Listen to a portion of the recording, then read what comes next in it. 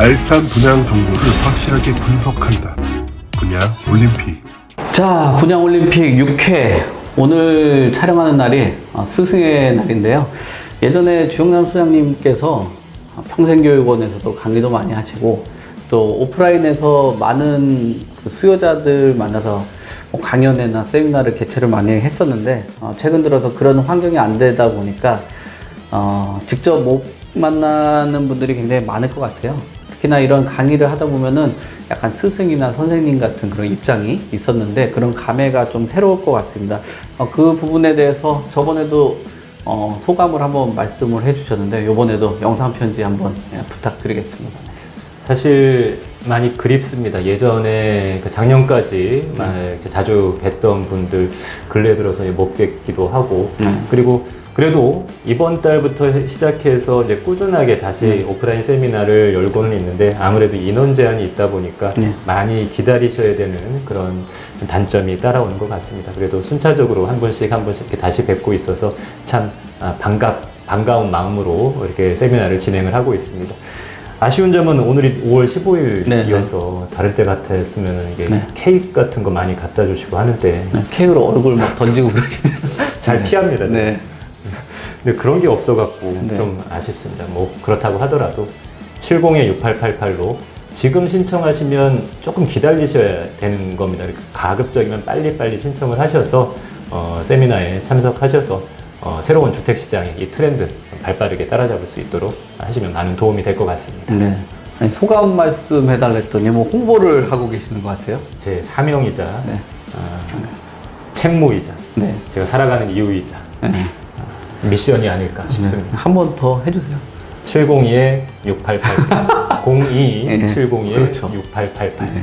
공익어 빼주시면 안 되더라고요. 그렇죠. 네. 네, 잘못 거시는 분들도 있으니까. 네.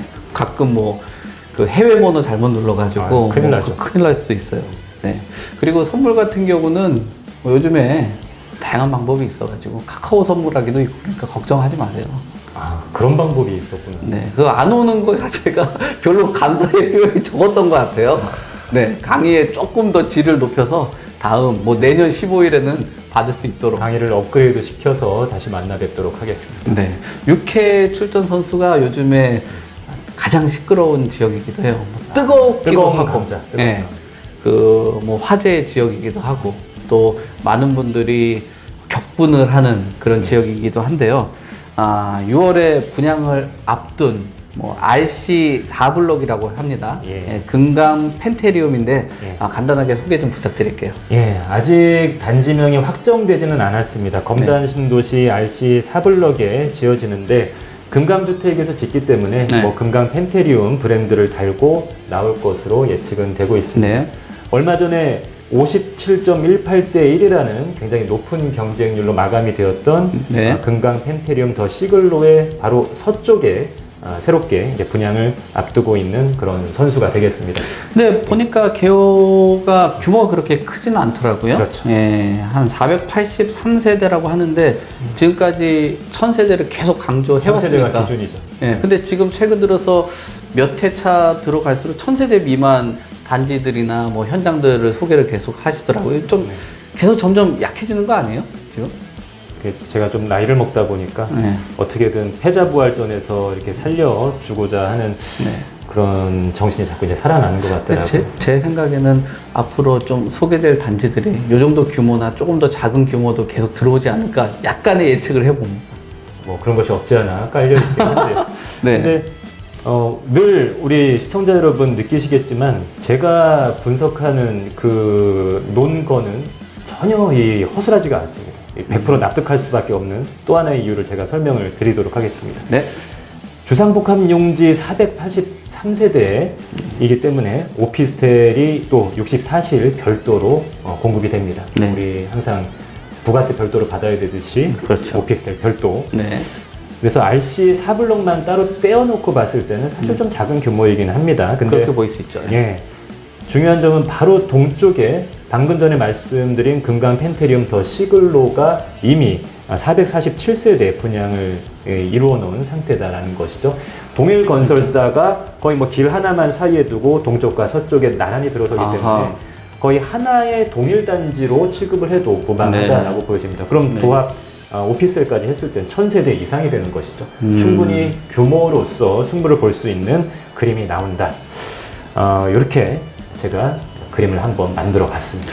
그 그림을 막 만드시는 거 보니까 창작혼을 발휘를 하고 네, 있습니다. 검단이 워낙 뜨거운 지역이다 보니까 약간의 뭐 민원도 그렇고 약간의 걱정을 하는 거고 약간 좀 두려워하는 것 같은데 아, 절대 그렇지 뭐 않습니다. 기존에 있었던 모습보다는 조금 약한 모습을 보이고 있어가지고 절대 그렇지 않습니다. 예, 그렇게 보이는데요, 좀.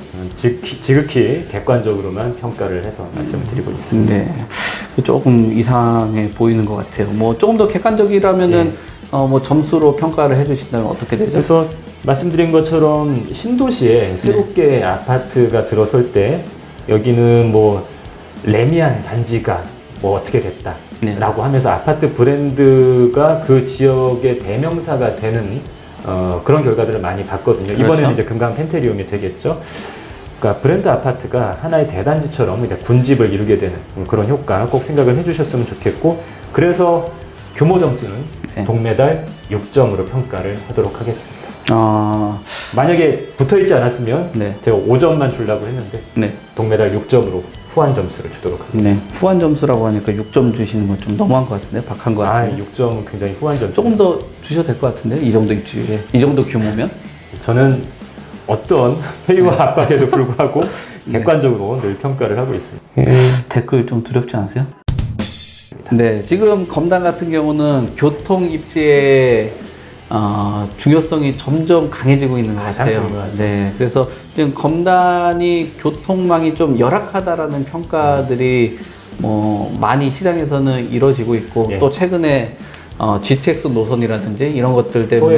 예, 이슈화가 되고 있어서 선별적으로 선택을 잘 해야 될 것 같은데 예. 어, 이 지역에 대해서 그 교통 입지 평가 좀 부탁드릴게요. 가장 중요한 점이 뭐 현재는 상당히 불편합니다. 근데 차후에 인천 1호선 이제 연장이 이루어지게 되는 것이죠. 공식적으로 아, 2020년 11월에 착공이 돼서 현재 열심히 음. 공사를 하고 있습니다. 2024년만 되면은 지금보다는 훨씬 나아질 것입니다. 근데 음. 문제는 인천 1호선 연장선이 검단 신도시 전체를 아우를 정도로 이 교통 기능이 탁월하진 않다라는 것이죠. 네. 검단 신도시 내에서도 1호선 연장의 혜택을 볼 수 있는 단지가 한정되어 있기 그렇죠. 때문에 늘 정확하게 노선이 어디로 지나가는지를 보고서 앞으로 뭐 청약을 준비하시는 분들도 체크를 해 두셔야 되겠습니다. 네. 참고로 어, 101 정거장은 그 원당동 인천 북부지원 부지 인근 바로 이 101 정거장이 아, 금강 펜테리움 RC 4블록에 새롭게 들어오는 금강 펜테리움과 상당히 가깝게 있는 네. 것이고요.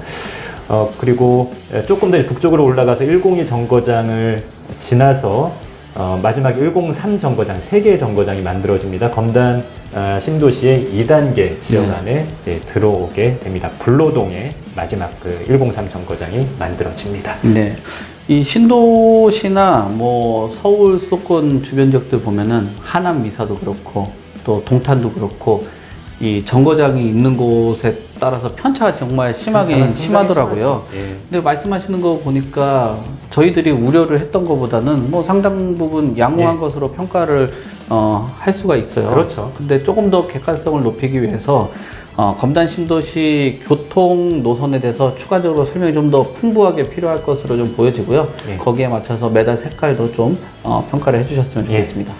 RC 사블럭 금강 펜테리움 이 교통 입지는 은메달 그리고 점수는 어, 좋- 8점을 드리도록 하겠습니다. 좋네요. 네. 이것도 안 드리면 혼날 것 같아요. 네. 인천 1호선 2024년 개통 이후에 네.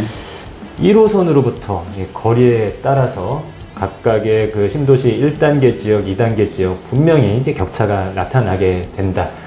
그 부분에서 그 금강 펜테리움은 1호선에 상당히 가깝게 있는 어, 그러한 단지로서 어, 뭐 충분히 각광을 받을 것 같고요. 네. 그리고 참고로 2호선 라인이 지금 서쪽에 지나가고 있습니다. 검단 신도시 서쪽 남북 방향으로 지나가고 있는데 그 검단 신도시 내에서도 2호선을 이용할 수 있는 곳은 3단계 지역의 서쪽에 치우친 일부 단지에 좀 국한되어 있습니다. 모든 신도시가 다 전철의 혜택을 볼 수가 있는 것이 아니기 그렇죠. 때문에 면밀하게 항상 지도 펼쳐 놓으시고 노선도 보시고 나는 어디로 들어갈 들어가야 할 것인가 좀 꼼꼼하게 따져보시길 바라겠습니다.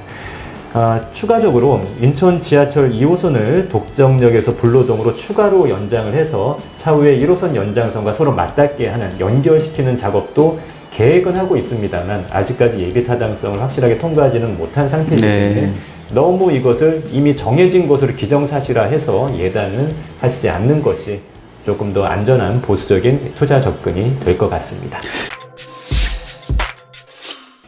알찬 분양 정보를 확실하게 분석한다. 분양 올림픽. 한 발 앞서 이슈를 말한다. 부동산 이슈 and 브리핑.